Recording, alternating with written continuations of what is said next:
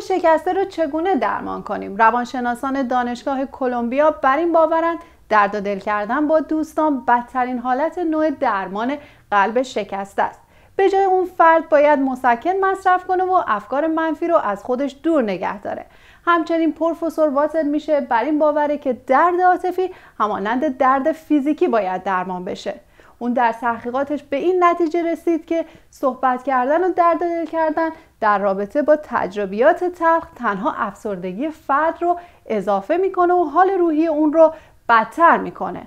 اون به این نتیجه رسید که زمانی که شما به تصویر فردی نگاه می‌کنید که قلب شما رو شکسته دقیقا همون منطقه از مغز فعال میشه که زمان سوختن دست فعال میشه.